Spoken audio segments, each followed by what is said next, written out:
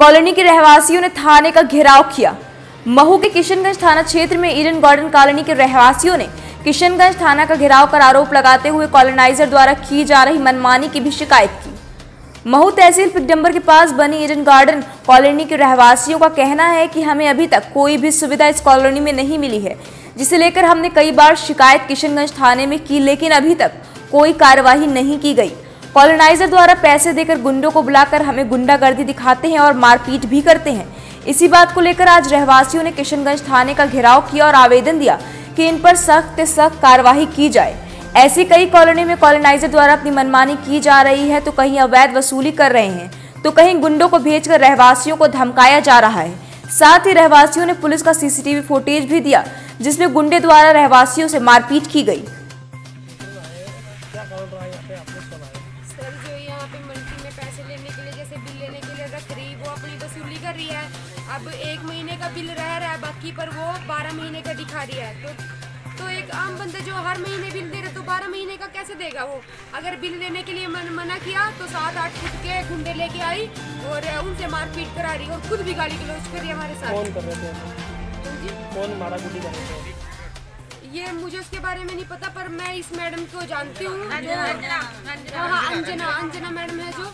और उसके साथ जो ये गुंडे मैंने पूछा मैं क्या किस अथॉरिटी से आ रहे हैं मैडम ये? कह रहे हम तो वसूली करने आ रहे हैं। मैं क्या ये अंग्रेज़ों के टाइम का वो चल रहा है सिस्टम कि तुम वसूली करने के लिए आओ और कर लगाओ हमारे ऊपर? एक महीने का बिल पेंडिंग है और बारह महीने का वसूल हो। ये कहाँ की वसूली हुई? कि हमेशा की यहाँ पे मनमानी चलती आई है वो हमेशा अवैध वसूली करवा रहा है। और कल भी उसने मनमाना बिल दिया एक फैमिली से उसने विवाद किया था। उनके साथ मारपीट भी की कुछ गुंडों ने। और उसके बाद आज उसी के पक्ष में हम लोग नीचे आए थे कि क्यों आप लोग इस तरह की मनमानी वसूली कर रहे हो।